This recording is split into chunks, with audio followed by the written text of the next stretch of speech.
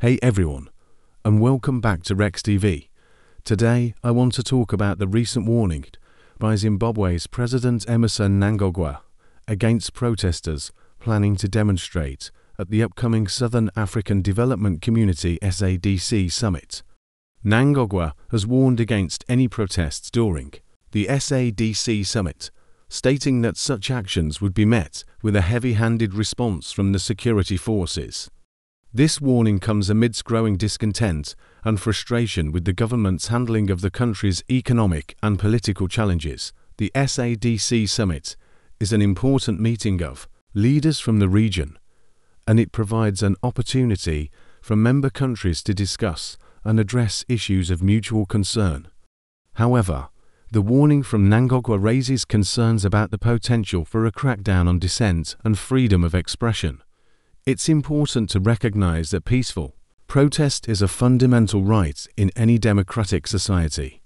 Citizens should be able to peacefully voice their grievances and concerns without fear of reprisal or violence from the authorities. The warning issued by Mnangagwa is a troubling sign of the government's intolerance for dissent and opposition. The international community should pay close attention to the developments leading up to the SADC summit and be vocal in condemning any attempts to suppress peaceful protest and freedom of expression in Zimbabwe.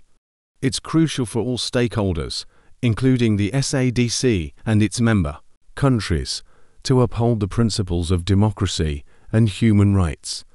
The people of Zimbabwe deserve to have their voices heard and their concerns addressed in a peaceful and inclusive manner.